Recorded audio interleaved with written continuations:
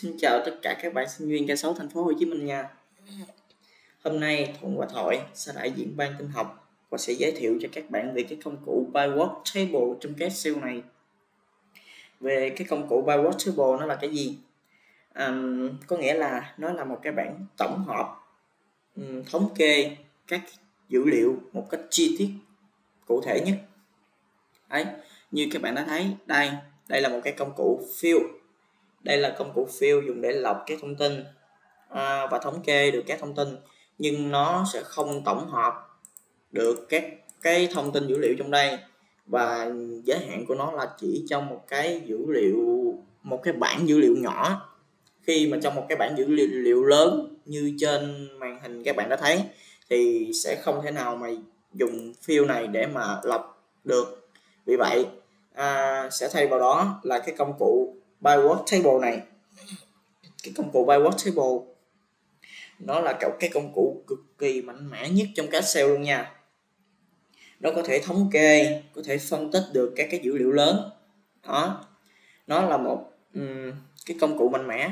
Đấy nó có thể tự động hóa được các hàm cơ bản như là hàm sum này hàm average này hàm max này hàm min này, và các hàm cơ bản vân vân vân vân. Đấy vì sao thuận nói nó là cái um, tự động hóa?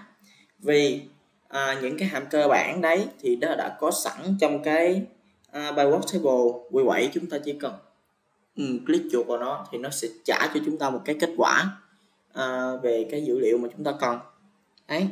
Nhưng mà cái ưu điểm của cái nhược điểm của nó là sao? Cái nhược điểm của nó là chỉ dùng những hàm cơ bản và những hàm nó cho phép còn những hàm nâng cao thì nó sẽ không có thể sử dụng được. Đấy. À, tiếp theo nó có thể liên kết được với cái recommend tra các cái biểu đồ biểu đồ tròn này biểu đồ cột này và các cái biểu đồ khác nữa vân vân và vân vân.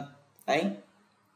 Để nó nó để thống à, cái cái biểu đồ này nó để thống kê chi tiết các cái dữ liệu à, để cho người đọc um, bản báo cáo đấy có thể nhìn vào à, một cách cụ thể nè nhìn vào một cách ừ, à, đẹp mắt và dễ hiểu.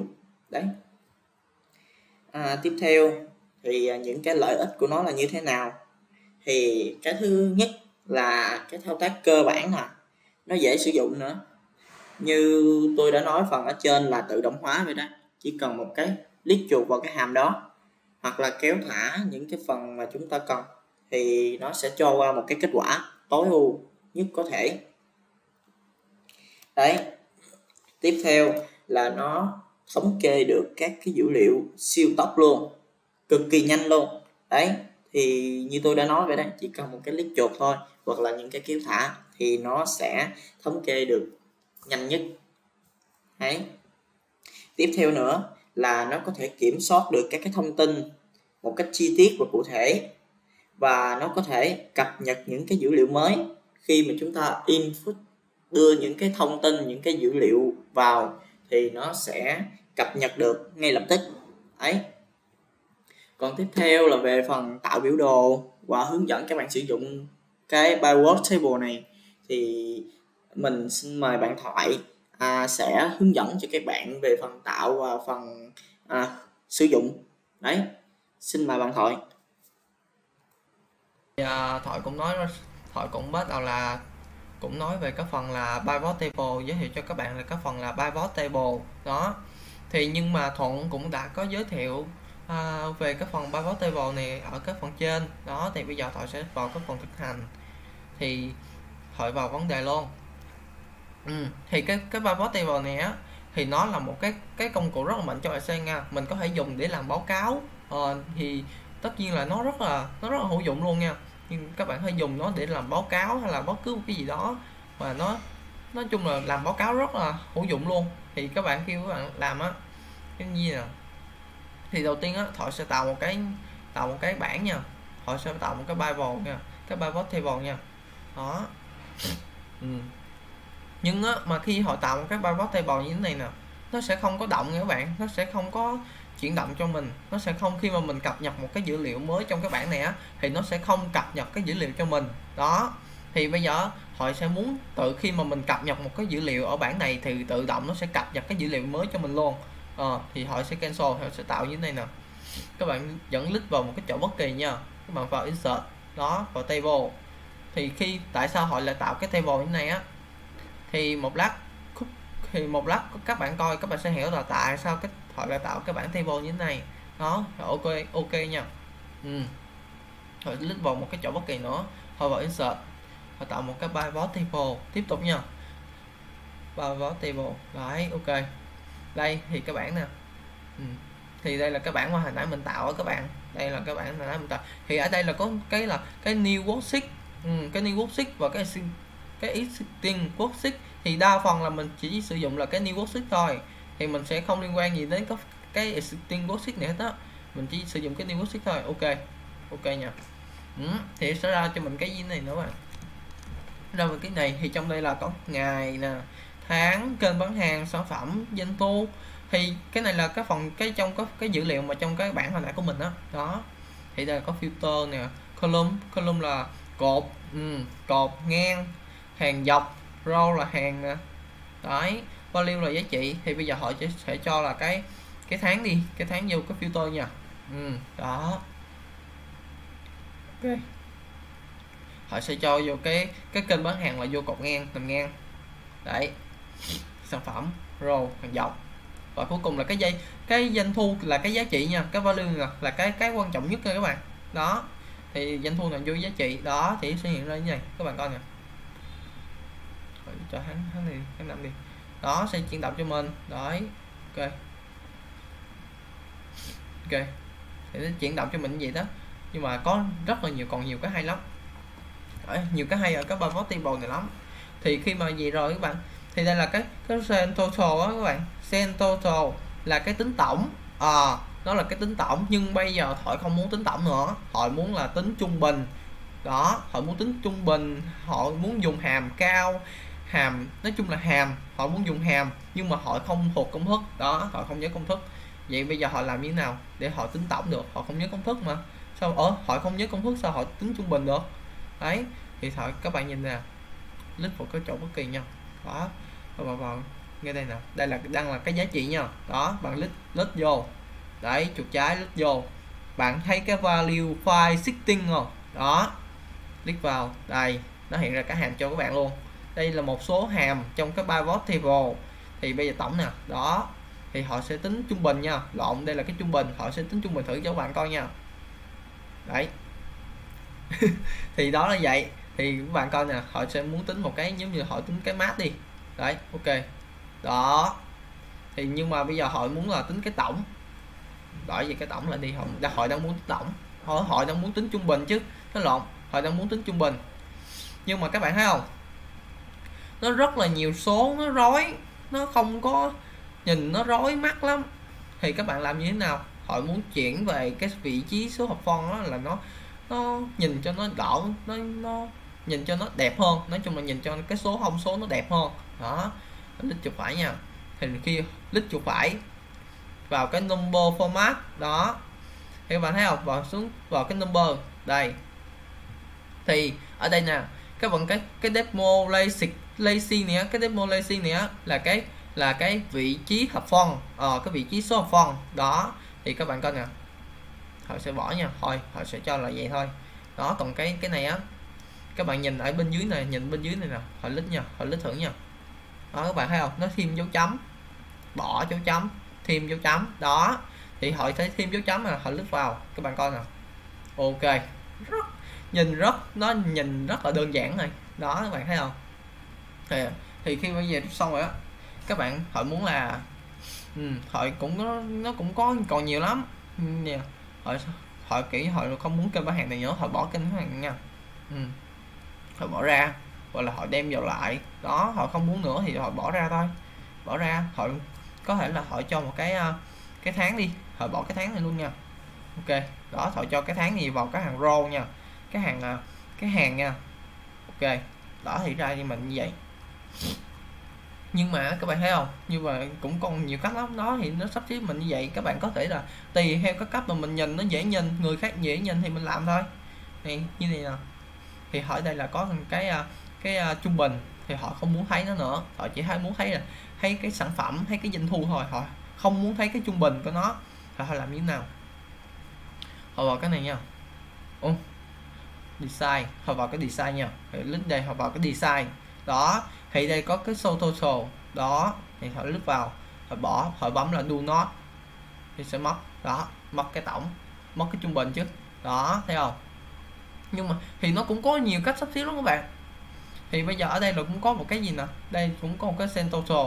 Họ không muốn thấy nó luôn, họ cũng bỏ luôn. Đấy. Ốp ốp for row and column. Đó họ bấm đây, họ ốp nó, họ biến cho, họ bỏ nó đi. Đó. Đấy, thấy không? Thì có rất là nhiều cách thay đổi. Thì các bạn cũng có thể thay đổi như này. Dạ. Đây, thì đây cũng rất là hay. Đó, dễ nhìn hơn không? Đấy, thì đây cũng có rất là nhiều cách. Đó. Thì tùy theo mà cái cách các bạn chọn thôi, thì họ chọn cái này cho dễ nhìn xíu. Thích cái này không? Design. Rồi, sao đợi là không được? Đó thợ thích cái này không? Đấy, ok thì các bạn thấy không? Khi mà vậy giờ thoại sẽ là kiểu như thoại muốn bỏ cái à, cái tháng đi, thoại không muốn cái tháng nữa. Đó, thì ra như này. Nhưng mà các bạn, giờ bây giờ còn cái gì nữa ta? Uhm. đó, bây giờ họ sẽ cho lại cái họ muốn lại có lại cái à, cái sen total ở đây đi nha. Đó, là cái tổng là cái sen total họ muốn có lại cái sen total ở đây. Uhm. thì họ vào cái design lại. Đó trên total thì họ on lại thôi. On nó ra lại. Đấy. Rất bình thường. Nhưng mà bây giờ tới cái khúc hay nè các bạn. Các bạn coi tới khúc hay nè. Bây giờ thoại muốn là tạo một cái bảng mới nữa nha. Thôi copy lại đi. Rồi qua đây. Ok. Rồi ok. Nhưng các bạn thấy là họ không muốn là cái này. Họ muốn cái khác đi nha. Họ muốn là cái tháng đi. Cái tháng đi bỏ cái sản phẩm này ra. Khoảng như này ok doanh thu hả? Họ không muốn doanh thu nữa. Họ muốn làm hai bảng mà. Họ cần gì phải làm doanh thu? Đó thì giờ họ sẽ cho lại vô là cái à, đây là doanh thu rồi. Họ muốn là vô kênh bán hàng. Ok. Thì họ chuyển nha họ lít cho bạn coi nè. Họ để họ làm cái đấy cho, cho nó dễ nhìn. Ok họ lít vào đây nha. Đó thì bây giờ là các bạn nhìn nè bỏ đi khỏi lấy một tháng thôi. Đấy.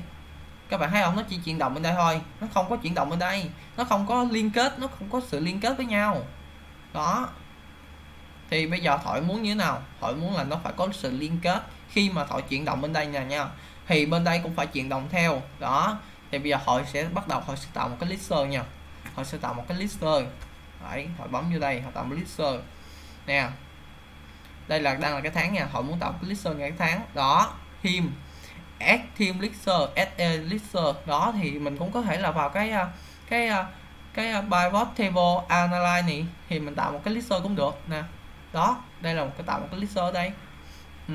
thì bây giờ họ muốn tạo trong đây nè. Đó họ muốn tạo lister thì nó hiện ra như thế này. À nó hiện ra như thế này. Xong rồi có 4 tháng đây. À, có 4 tháng. Thì nó sẽ tạo ra như thế này thì họ muốn là muốn nó liên kết có cái sự liên kết giữa hai bảng như thế này nha. Họ muốn nó có sự liên kết. Ừ. Bỏ đây cái đi. Sai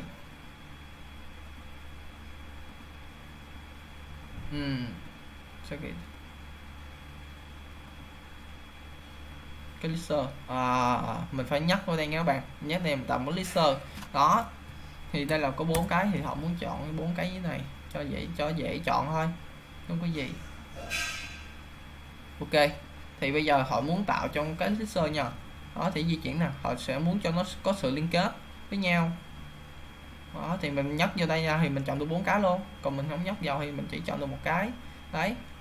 Thì họ sẽ muốn tạo một cái lister cái một cái sự liên kết với nhau. Nhấn vào đây nè chuột phải đó. Thì nó sẽ ra một cái bảng như thế này. Thì các bạn biết mình chọn nào cái report connection ừ, cái report connection thì cái này là là cái báo cáo cái kiểu như là cái báo cáo uh, báo cáo kết nối gì đó. Ừ. ờ thì mình sẽ báo cáo cái kết nối. Ờ bây giờ mình sẽ bấm vào nha họ sẽ lướt vào. Ừ, thì hiện ra một cái bảng như thế này. Đó lướt vào. Ok. Thì các bạn giờ dạ các bạn nhìn nè đây. Các bạn thấy chưa? Nè khi mà họ chọn là cái may đi là cái tháng 5 là ờ, may thì là kênh bán hàng của nó là có 67 cái kênh. Đó, nhưng mà cái cái cái sản phẩm của nó là cái append nhưng mà cái doanh thu của nó là 69 đó, thì nhưng mà cái đây là 67 thì cái Valent này đó là cái doanh thu là 61 đó, thì trong tháng 5 đó.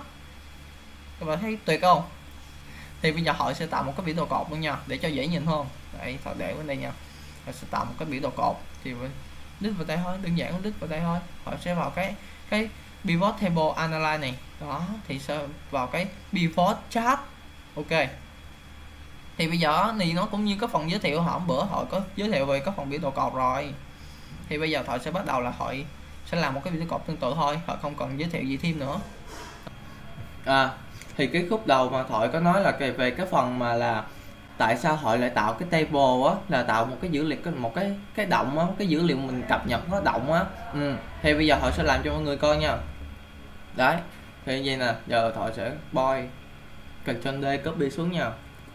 Ok, họ sẽ đổi số. Thì đây họ sẽ đổi, đấy. Ok, mình cứ bấm số đại đi làm sao. Đó, mình bấm số đại nha. Đó thì các bạn khi các bạn cập nhật cái dữ liệu á thì như vậy nè. Các bạn qua đây xích 2 là cái bảng mà mình tạo. Đó bạn bấm vô bấm vô chỗ bất kỳ trong cái giá trị này nè.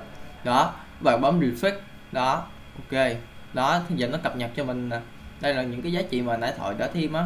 Đó phần này. Ừ. thì bây giờ muốn bỏ mình muốn bỏ ờ, thì mình qua mình xóa cái này đi. Đó mình xóa cái này đi delay nó. Dạ, rồi qua là chạy. Nhưng mà nó vẫn còn nha thì các bạn bấm refresh tick đó nó lại lại như cũ. Đó thì cái phần này là như vậy á. Ừ, thì cái phần mà pivot bộ cũng hỏi á của hỏi với uh, của ba tinh học tới đây là kết thúc á. Các bạn có thể là um, mình có thể là vận dụng vào cái phần các phần uh, cái phần báo cáo của mình hay là mấy cái phần mà bài tập mà do trường mình do cái do bên tinh học giao cho cho mình á thì nó rất là hữu dụng với mình luôn. Đó thì chỉ vậy thôi. À, thì cái khúc đầu mà thoại có nói là về cái phần mà là tại sao họ lại tạo cái table á là tạo một cái dữ liệu một cái cái động á cái dữ liệu mình cập nhật nó động á. Ừ. thì bây giờ họ sẽ làm cho mọi người coi nha. Đấy thì vậy nè giờ thoại sẽ boy Ctrl D copy xuống nha. Ok thoại sẽ đổi số. Thì đây họ sẽ đổi đấy. Ok mình cứ bấm số đại đi sao. Đó mình bấm số đại nha. Đó. Thì các bạn khi các bạn cập nhật cái dữ liệu á thì như vậy nè. Các bạn qua đây xích 2 là cái bảng mà mình tạo. Đó bạn bấm vô bấm vô chỗ bất kỳ trong cái giá trị này nè. Đó bạn bấm refresh. Đó ok. Đó thì giờ nó cập nhật cho mình nè. Đây là những cái giá trị mà nãy thoại đã thêm á. Đó phần này. Ừ. thì bây giờ muốn bỏ mình muốn bỏ ờ, thì mình qua mình xóa cái này đi đó mình xóa mấy này đi delay nó rồi mình qua là chạy. Nhưng mà nó vẫn còn nha thì các bạn bấm refresh tick đó nó lại lại như cũ. Đó thì cái phần này là như vậy á. Ừ, thì cái phần mà pivot table của hội á cổ hội với à, uh, của ba tinh học tới đây là kết thúc á. Các bạn có thể là um, mình có thể là vận dụng vào cái phần các phần uh, cái phần báo cáo của mình hay là mấy cái phần mà bài tập mà do trường mình do cái, do bên tin học giao cho cho mình á, thì nó rất là hữu dụng với mình luôn. Đó, thì chỉ vậy thôi. Rồi, cảm ơn các bạn nha.